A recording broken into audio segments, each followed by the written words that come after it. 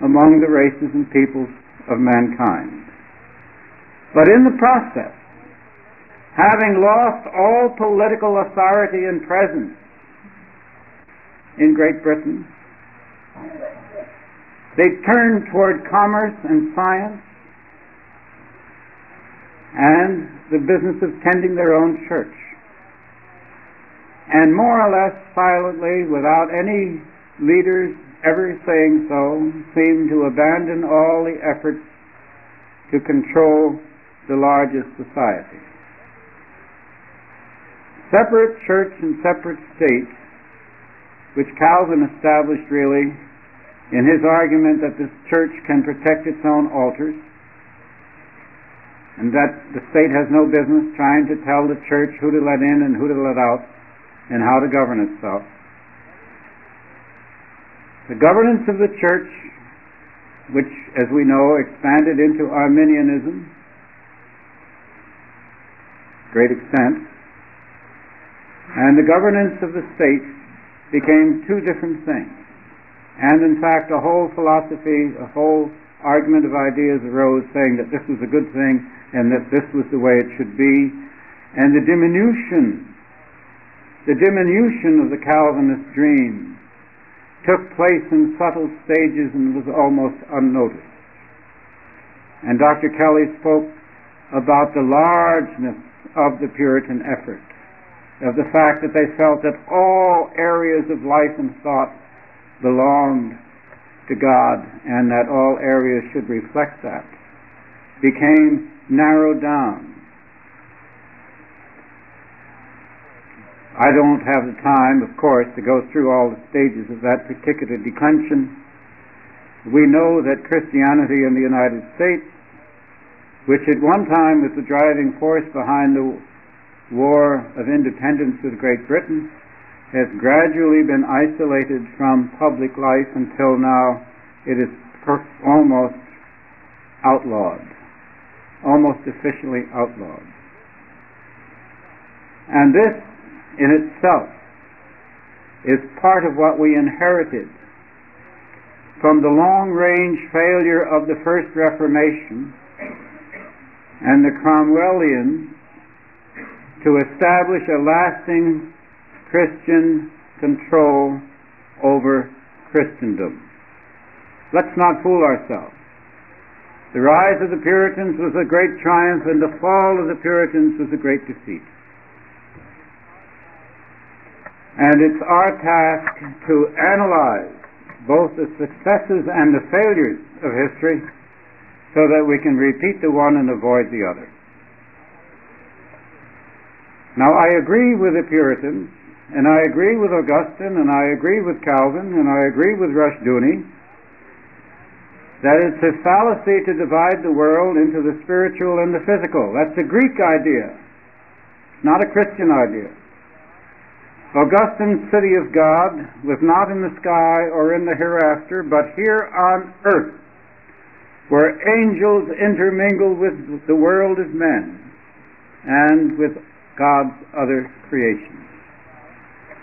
And the presence of God in the affairs of this world are not always visible in an immediate sense, but over a period of time they become unmistakable in terms of sin and in terms of virtue.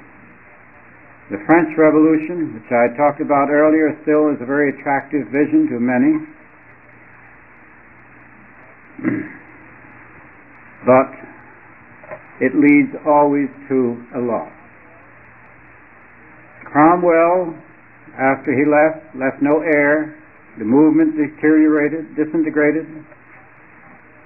And England, after Cromwell, might well have gone the way of revolutionary France, because when Voltaire went over to London in 1715 with the proceeds of the French National Lottery, which he won, and which was the basis of his fortune, he ran into the English fashion of making fun of Christianity and the Christians. And he took that fashion back to France with him, and that began the Enlightenment, the anti Christian, anti religious Enlightenment. Meanwhile, in England, you had Wesley and Whitefield and their awakening, which recalled to them the need to recover some faith and which kept them from the cliff that France went into. But we do have to remember that one of the reasons the Puritan movement collapsed was because of the interior internecine arguments that arose within the Puritan army, within the Puritan House of Commons, within the whole Puritan movement. Fierce arguments. The soldiers would sit up all night over the campfires shouting at each other over their differing interpretations of the Bible. The world hasn't seen such arguments by such zealots until the internecine disputes of international socialism in the 19th and early 20th century. Only recently have the Marxists ceased to have those kind of arguments, and that's probably because they've lost their heart is no longer in their efforts it's not any longer driven by idealism, but by search for power. And there isn't much to argue about when it comes to power. The Christian progress was entirely different. And history shows you the difference between the revolutionary progress, which has gone deeper and deeper into the swamp, and the progress that attended the changes that the Puritans established. Puritan descendants, as I said, became those who didn't go into the clergy, became active in commerce. They didn't turn toward art, which I consider one of their deficiencies. The counter revolution picked up the art, the counter reformation, I mean, picked up art, and we sort of let it go. So we lost a great deal. We lost the theater, which Cromwell, by the way, reestablished before when he was in control. We lost the great world of entertainment, which has now been turned against us by the revolution. We lost a great deal of painting and sculpture. Earlier today, a young man told me that he was called to be a sculptor, and he's also an elder in a church, and he wondered if go turning toward art would re- amount to a rejection. And I said, How could you be accused of that if you're going to follow the vocation that God opened to you. The missionary effort remained, and very effectively. And also the idea of Christian vocation went into the larger world and expanded the whole world of progress as we know it today. The eternal corporation of the church became corporations set up by private individuals, the corporations of commerce. I've had some experience in dealing with some of those corporations. I've uh, interviewed founders and inheritors of very large corporate structures. And I must say, they're more complex than a symphony orchestra. Diverse talents are all used and blended together toward a larger purpose.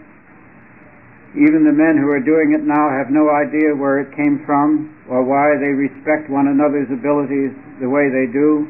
They don't realize that in the pre Cromwellian world, occupations meant nothing and birth meant everything. So that was a breakthrough which carries on silently. Science, as Dr. Kelly told you, the scientists were Christians first, like Newton, Scientists second. And incidentally, Newton, for the balance of his long life, spent almost all his time exploring the science of the Old Testament. Stacks of his discoveries are in the British Museum, untranslated from the Latin, because the modern world decided that he had lost his brains when he got into that, and there was no sense looking into it. And all the changes that the Puritans brought in are seldom really traceable. But let's put it this way as the old vocations, as the uh, hereditary vocations changed, as people were driven off the land, and they were driven off from the farm of the, high, of the lowlands of Scotland and from the farm lands of England, as industry began to came in, come in. The plowman turned into a factory worker. And it's very true that the first generation found this wrenching and painful. But it ended starvation. And it was accompanied by the rise of new sanitation methods, medical, mechanical advances. An entire transformation of society began first in England, the world's first industrial society, which then spread to the American colonies and around the world. And in the period from 1794, when Robespierre was finally killed by his own people in the French Revolution, to 1894, one century, you saw the greatest leap forward in the history of the human race. Not from the revolution, but from the effects of the Puritans tremendous constructive changes which took place within Christendom and which were then exported by the Christians around the world, both the gospel and the inventions and the advances and the progress. Some historians like to talk about the fact that the Chinese invented ink, paper, paper money, gunpowder. Yes, they did, but they didn't do anything with it. They didn't export those products to other people. They weren't interested in other civilizations. It was only the Christians that got onto ships and moved around the world and said to other people, Here, try this. And this was all from change, innovation, new methods of doing things, new methods of work. Nothing as blazing as a revolutionary speech, but something that changed the way men lived, the way families were supported. Not without difficulty, not without opposition and criticism. The revolutionists and the socialists and the, many of the literati hated it. From Emerson to Dickens, the literati complained about these smelly factories and also complained about the nouveau riche, about the industrialists and the manufacturers and the people in the factories who were suddenly wearing clothes just as good as ours. Terrible thing. The living standards of the entire world were lifted up by the fruits of the Christian civilization.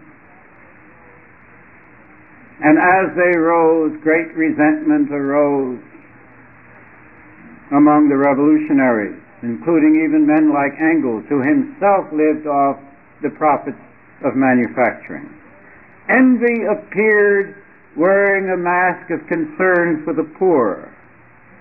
And socialism began to replace religion for the intellectuals, because there's nothing an intellectual hates worse than to see somebody who doesn't have his degree prospering. And that trend, of course, accelerated by two world wars and their debacles, is with us today. Don't let the fact that the American intellectual calls himself a liberal deceive you. Dr. Dwight Murphy wrote a wonderful quartet of books unmasking the American liberals. He said in the end, they're all socialists. They agree with every tenet of the socialist movement. They just haven't got the courage to admit it, and they call themselves liberals. Now, today, we look at the results of these two things the results of revolution, the results of change. Every country that bought socialism is now unable to feed itself. And only the nations which refuse the socialist answer are able to export the food to those nations that cannot feed themselves. What an example! It's as clear, it's, as, it's unbelievable, and yet totally unnoticed. Why do the Soviets need our food? Why don't they make their own? Well, another story. We confront a world remade by the principles of the Reformation and the world of work, but lacking in the application of the same Calvinist principles in our government, our media, our universities, our Congress, and our courts. We have narrowed our inheritance, or our forebears did, and consequently, our estate is not as large as it should be. The only reason we have been spared the regular left-wing revolution that occurred in other countries is because the innate conservatism of the American people, their religiosity, which maintains the largest and best attended churches in Christendom. But in the period since World War II, we have seen a remarkable decline in the numbers and caliber of those congregations, even though there has been a remarkable awakening on the part of people like myself and you. What we have been living through are the results of two particular developments which have been conducted over a period of several centuries. And we are now confronted with a very clear possibility that in the next great crisis that occurs to the United States, and we are all positive that a crisis will occur, that unless we have in place a Christian movement, the left will roll over the rest of what remains of American liberty. And I say that because the pattern of the revolution has not changed. I described it to you this morning. A runaway Congress, the corruption of the courts, which become subject to political winds, the capture of the universities, the distortion, the misuse of the media. Underway here as it was underway in Paris, in St. Petersburg, in Berlin, in Havana, in Managua, and so forth. And by their capture of communications and the arts, the revolution has the weapons that the Reformation once used. The Reformation used printing Today, the revolution uses radio, TV, and computers. Now, in my opinion, we're running toward the cliff. The clergymen call it judgment. Same thing. And we have to, like the Puritans, either allow the Arminians to go all the way and give us the total state, or we have to mount some sort of objection, some sort of effort against it. Because it is, after all, our duty as Christians, and we hear this repeatedly, to carry our principles into every area of life and thought, and not simply to parts of life and parts of thought.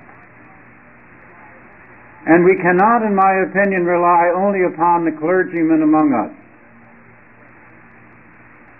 their message is essential and, and provides us with the spiritual sustenance that we need. But we also need to create social instruments to protect our faith from unbelievers in high places. Faith is not simply what Dr. Rushdoony calls a fire insurance policy, but a way of life, a way of assessing the world and its behavior, a way to overcome folly and error, sin and evil. Paul said, We contend against powers in high places. How can we do this? How can we present a Christian alternative? How can we reconstruct the American society? To a certain extent, since we began from such a modest position, don't forget, Chalcedon began 24 years ago with a mailing list of less than 100 people, a typewriter, and R.J. Rushdoony. And some have said, well, we can create our own society with its own schools and its own neighborhoods and its own publications and churches, and in effect repeat the pattern of the early church in the pagan society of ancient Rome. And there is much to that because you cannot have any kind of a movement without having a base. And the Christian schools and the home schools and the Reformed churches and the networks that Dennis Turry talked about last night are essential. You can't have a movement unless it has a core. This was the way the Jewish people maintained themselves amid an alien Christianity for centuries. Very well. They were successful much more often and for far longer in many more places than they were unsuccessful. They defended themselves and their faith kept them through the centuries. And we have inherited many centuries of Christian civilization. But the interesting division here is that this is a civilization in which we are the majority and not a minority. The fruits of this civilization were, conduct, were created by our forebears and not someone else's. We are neither strangers nor aliens in Christendom, but Christians in our own land. If the universities and the media, the courts and Congress have moved beyond our control, deny the validity of our opinions and have grown hostile to us, we don't need a revolution. We know the terrible cost of revolutions. We can look around the world and see that they have created nothing but ruin. We only need to change the leaders of our institutions. We don't need to destroy them. For instance, our most serious opponents are not in the streets but in the universities. I don't have to tell you, you all know how inadequate our public schools are, our state schools, our government schools, however you want to describe them. Intellectual crimes are being committed there. And we have all sorts of books, monographs, reports, and speeches that criticize but do not improve. Well, we say we have a Christian school movement and we have a homeschool movement. But on the other hand, we are not going to live alone in this society. It's our Christian duty to help all children and not simply our own. Millions of American youths are being indoctrinated along ruinous paths. And we cannot stand by and watch this without lifting a finger. Charity, after all, does not consist only of giving people food, clothes, and money, but in helping to make their lives better along higher levels.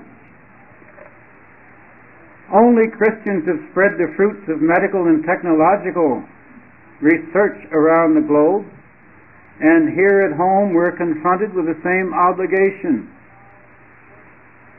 we cannot allow the forces of spiritual destruction to continue to wreak havoc in this land without seeking to bring about a change.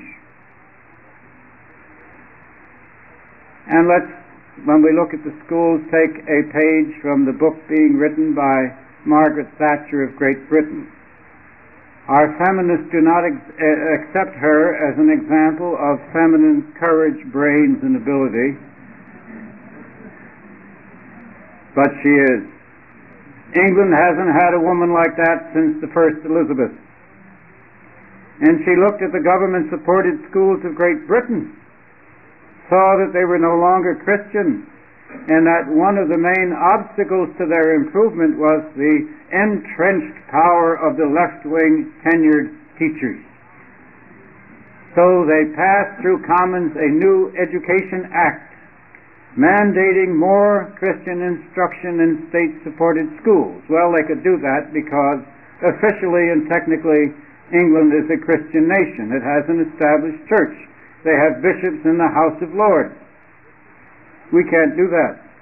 But she did do something else which I think we might think about. Beginning in November 1987, no new teachers could receive tenure in an English university. And then in the next paragraph of the same act, it says, neither clerical nor teaching staff will be safe from dismissal for reasons of economy, redundancy, or inefficiency. All of a sudden, one fell swoop, off with her head. I called the executive editor of the Conservative Digest and said I'd like to write an article uh, suggesting that we end tenure in American public schools. Well, he said, I don't know, Otto. I said, well, Maggie Thatcher's doing it. He said, what? He said, I haven't read that. I said, well, no, they're not going to write about their cousin losing a job. But I said, she did it, and I described it. He said, hey, that's a great idea. When can you have it?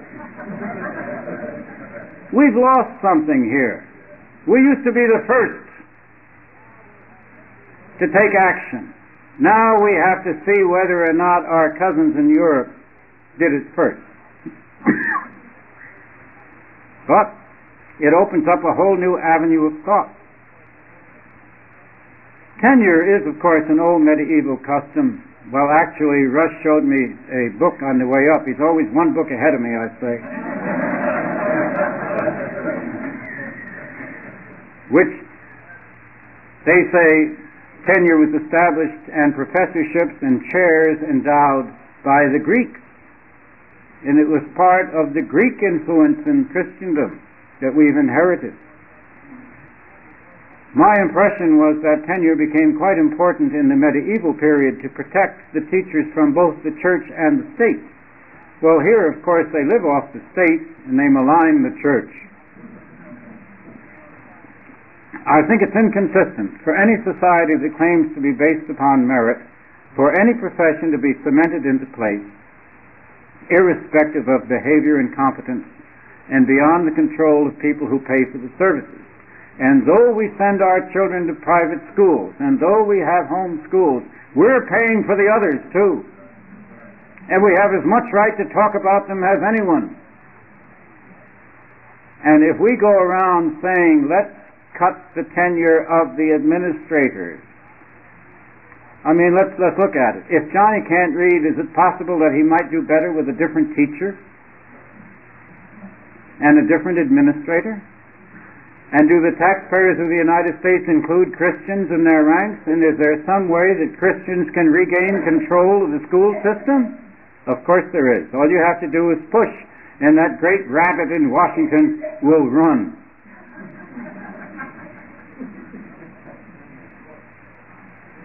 Well, the court, somebody said. I heard that. we have an interesting situation with the courts.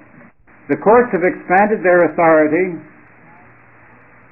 even faster than the rise of crime.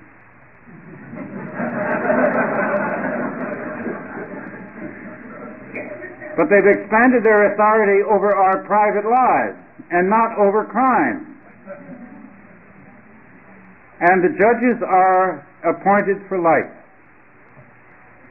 The President of the United States is limited to eight years in office, and the judges are appointed for life.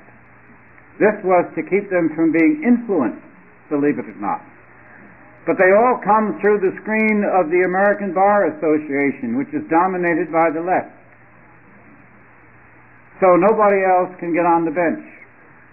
The Supreme Court, which has been a political plum ever since it was created, and which has long since violated its original charter, is occupied by such men as Thurgood Marshall, and National Review magazine has a new cover on it showing Thurgood Marshall sound asleep because we understand that he sits in his chambers and watches color television all day. And he signs without reading what his clerks produce. Now the court is surrounded by, each one of the judges has a whole coterie of bright young law students, average age 26. They assess the case and they write the background, and in many cases they write the decision. Knowing the bent of the juror for whom they work, knowing his general opinions and attitudes, they provide the material to which he adds his vote. We have three that are in their 80s on the court, and we have others. Suppose we were to say to the court, to the judges, you can serve for 12 years, at the end of which time we'll give you a very fat pension. We'll thank you for your service to the nation. We'll forbid you to serve the government again in any capacity and say goodbye. I mean, we have a country of 250, 260 million people. We have enough bright people in this country to replace all the bright people that are presently entrenched wherever. And the purpose of the founders was to create an overthrow, to keep from having a settled aristocracy, to keep from having any group of people get permanent power. Now, our Congress, 98% reelected, has entrenched itself so that the purpose of the founders in having a Congress that was constantly turning over has been frustrated. Let's look at Congress. Courts we'll go back to in a minute. Congress exempts itself from the laws it, it enacts. Now, I would have thought that it would be unconstitutional for any group of men to place themselves outside the law. Yet nobody, so far as I know, has ever challenged the right of congressmen to place themselves outside the laws they enact. Why not? They should be forced to obey the laws they enact and all the laws they have ever enacted on sheer constitutional and ethical grounds. Secondly, the staffs of Congress now add up to 25,000 people. 25,000. This is one of the, you wonder, how can these things come out of Congress? Well, how can anything come out of 25,000 people? So I think that the expenditures of Congress should be limited, not for the country, but for the congressman. How much each congressman should be able to extract from the Treasury and how many people he should have to help him should be severely limited. The frank should be abolished. Totally. And then let's see what we can say about congressional terms we have two congressmen now, Senator Armstrong of Colorado and the senator from Vermont, his name escapes me at the moment, who have decided not to run again after their second term. The one in Vermont says no rational man can stand Congress more than 12 years. And I think that uh, we should make that a rule. Give them 12 years, six in the House, six terms in the House, two in the Senate, big pension, Goodbye. Don't come back in any capacity. We would lose some good men, but we would get a lot more. Now, what would be the effect of these changes? If we change the academy, we would be changing the seedbed of revolution in this country because the media gets its ideas from the academy. And what can we do about the media? Well, one thing we could certainly do is restore the laws of libel and slander. As it stands, I cannot be libeled or slandered by the media because I'm what's called a public figure. I'm a writer, my name is out, and so forth and so on. Well, I think that's unconstitutional because I think everyone enjoys, or should enjoy, the right to confront his accusers, to know what he's charged with, and to answer the charge to hold some people removed from the laws of libel and slander means that you have denied their constitutional rights. And what the founders called inalienable rights. And Noah Webster in his 1828 dictionary defined inalienable as a right that cannot be surrendered or taken away. What they did to Ollie North they said, You come and testify to Congress, or we will hold you in contempt and put you in jail. So he came. Now they're using what he, they said, We'll give you limited immunity. What was limited about it? He was indicted for what he told them.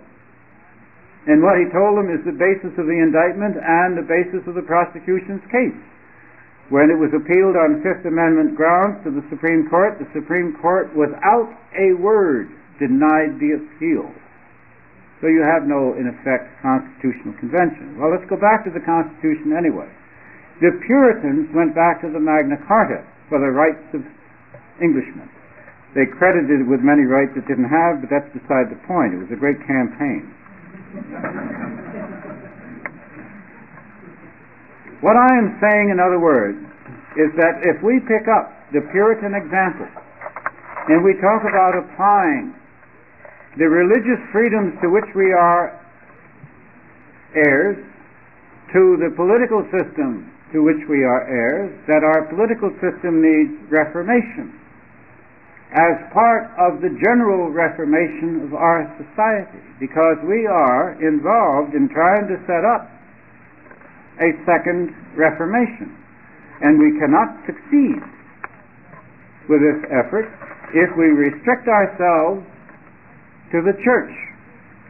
That's what Dr. Kelly was telling you about the Puritans. The Puritans had no chance. The king was against them. All his men were against him. And some of the issues that came up in the Civil War are issues that have recurred here after 400 years. For instance, delegated power. Delegated power. The power of the king. The king, of course, had certain authority. And what King Charles did was assign certain men in his name to go out and get money from the citizens in the name of the king. Well, we had this at Ashland Oil when I was at Ashland Oil. First of all, they were fined and abused and beaten up for having contributed to Nixon's campaign, which was technically against the law. That led to an IRS investigation in the name of the king. And that led to an SEC investigation in the name of the king.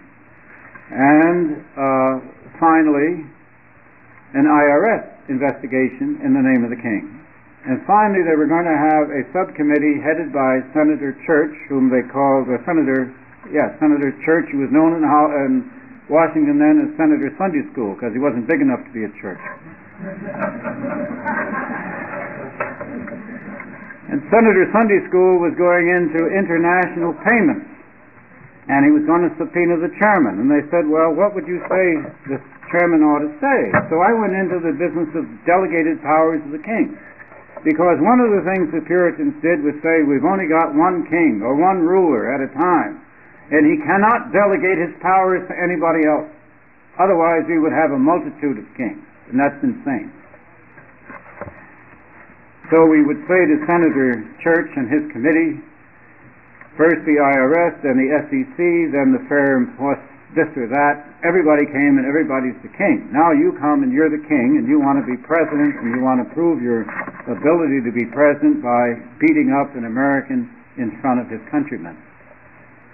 And we're here to tell you that there's only one king and there's an end to all this nonsense and it's going to end right here. We're not going to answer any questions whatever. Well, We've tried everything else, let's try that. Oh, I almost fell dead. they never paid any attention to what I said. And I went home, and about 10 days later, nothing happened, so I called up and said, What happened? They said, Well, we showed the statement to the staff, and they tore up the subpoena. All you have to do is stand up. And how could we lose? Thank you very much.